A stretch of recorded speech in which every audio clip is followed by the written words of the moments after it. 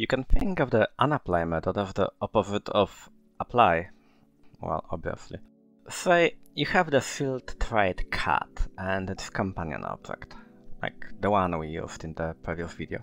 There are two apply methods defined. They take the color of the cat, or its lack of color, so to say, and create a cat of the given color, or without the color at all.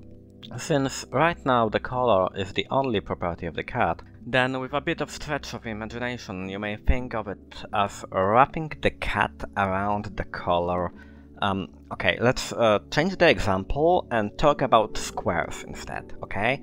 Okay, um, a square is defined by the length of its side and only that. The case class automatically implements the apply method so we can create a new square by writing val square equals square of 1. Since there is nothing left to know about squares, you may imagine that the square apply method wraps the data about the side length in a container of type square. This container is there to give meaning to the data. If someone told you only that the length of the side is 1, you would have the data, but you would still have to ask the side of what. Having the additional information that we talk about a square completes the picture. The unapply method works the other way. It is defined in the companion object, usually takes the instance of the associated class as its only argument, and returns an option of what's inside the instance. In the simplest case, this will be just fields of the class. One if there is only one field in the class, and otherwise a pair, a triple, a quadruple, and so on. The square case class implements the unapply method for us, but if we wanted to write our own, it would look something like this. I also added the apply method so we can better see how they are basically opposites. The only thing which stands out is that the unapply method returns an option. Why? Because just like apply, unapply can be used to perform more complex operations before returning the unpacked result. And sometimes it can turn out that the expected result doesn't match what we get. Unfortunately, to provide an example, I have to go back to cats. We can unapply an instance of real cat and get its color, uh, but we can't do it for unreal cats, like the Cheshire one. So we have the apply method, which gives us a real cat, and another apply method which gives us a Cheshire cat, and then we have an unapply method that will give us either the color of the cat or nothing.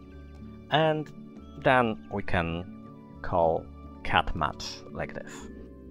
Now, if our cat is for example a ginger cat, we will be able to extract its color with our shiny new apply method and print it out, but for cats without colors, we cannot do that. The unapply method has to return none for them, and when we use match case on the cat, we will be forced to use the default case. There's also one more interesting thing you may have noticed. Nowhere in those examples the unapply method is called explicitly, but it's a bit more tricky than with the apply method, where we simply used x and the list of arguments instead of x.apply and the list of arguments. In the case of unapply, the explicit call would have to look something like this. And if we are absolutely sure that the cat has a color, then we may reduce it to this. You can sometimes see statements like this used as a form of data conversion.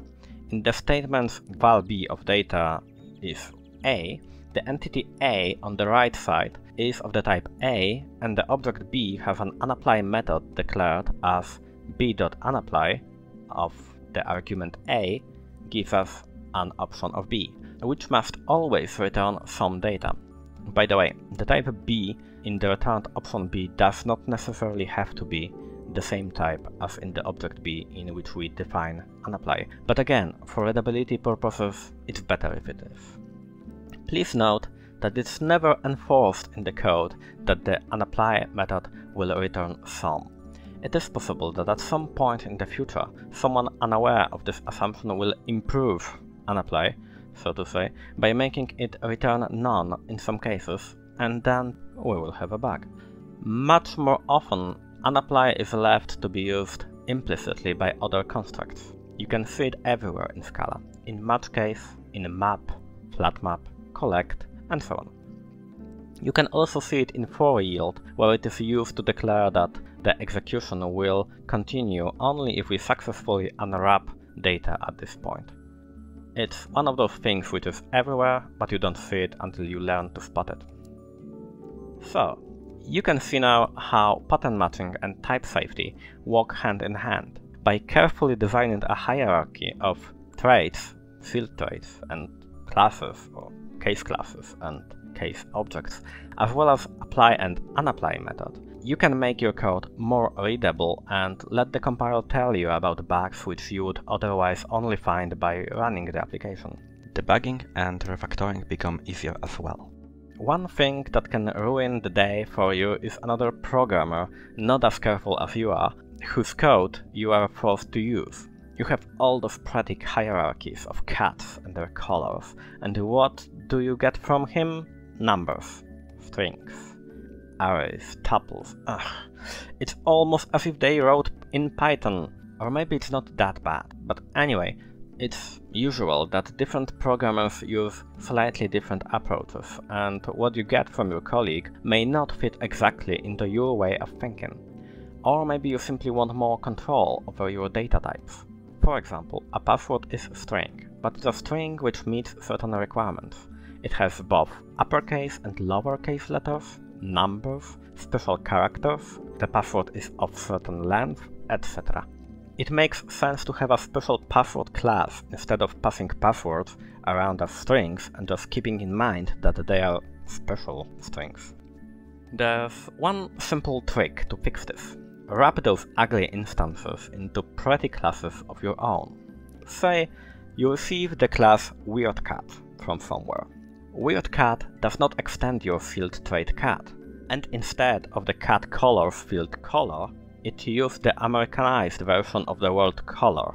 Yet, apart from those details, it almost fits. You would like to use those weird cats, and it would be great if you didn't have to duplicate your code because of those small differences.